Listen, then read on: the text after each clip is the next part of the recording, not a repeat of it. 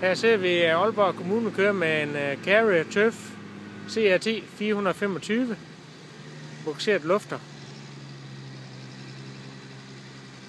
Og maskinen den er forsynet med øh, stjerne, øh, kniv, øh, valser og så med børstevalser eller børsteelementer.